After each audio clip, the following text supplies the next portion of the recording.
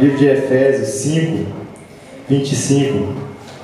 Maridos, ame cada um a sua esposa, assim como Cristo amou a igreja e entregou-se por ela, para santificá-la, tendo purificado pelo lavar da água, mediante a palavra, para apresentá-la a si mesmo como a igreja gloriosa, sem mancha, sem ruga, ou com coisa semelhante, mas santa e inculpável.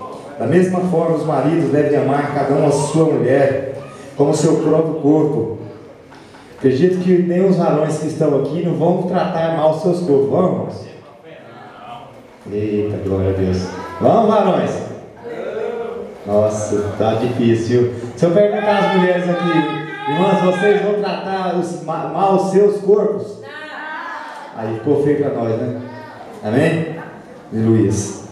Irmãos, foi, foi um ensino que teve ontem lá na igreja para os varões a respeito dos pais estar educando os filhos, a respeito do tratamento dos esposos com a, com a, com a, com a varoa, com as suas mulheres.